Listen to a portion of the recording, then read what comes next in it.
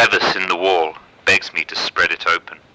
It is a mouth of some creature, a toothy, pasty, open feature, ready to swallow me. It has little friends who will gather the leftovers. It always wants to widen. It always wants to create. This crevice in the wall comes in two colours. Its first colour flakes at the insistence of a finger, a toe, a flailing limb. It wants to anticipate a third colour, not a colour, too. It wants to anticipate a third colour, not a colour, too. Some of its little mates want me to join them together. Some of its little friends ask over and over.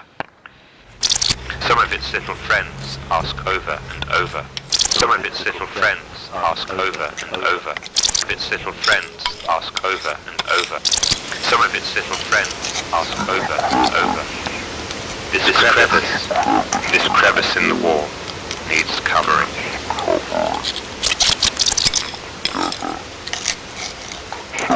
This crevice in the wall needs covering.